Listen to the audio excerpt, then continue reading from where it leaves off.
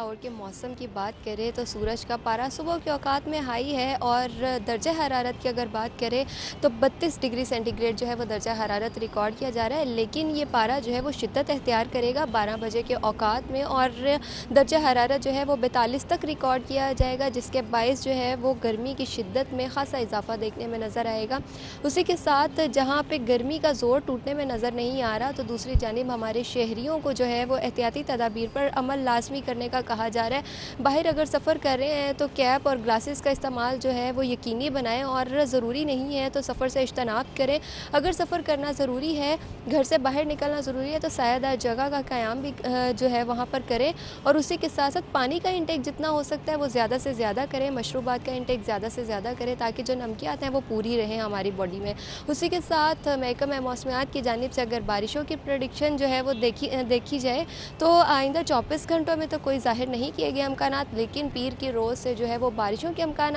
सत्तर से अस्सी फ़ीसद बताए जा रहे हैं, जिसके बायस जो है, जब बारिशें होंगी तो इस गर्मी का ज़ोर जो है वो टूटता हुआ दिखाई देगा। उसी के साथ हवा में नमी के तनासब की अगर बात करें तो तेईस फ़ीसद रिकॉर्ड किया जा रहा है, लेकिन जो हवाएँ चल रही हैं, उसमें भी लू महसूस की जा रही है और गर्मी की शिद्दत जो है इसी तरह से बरकरार रहेगी।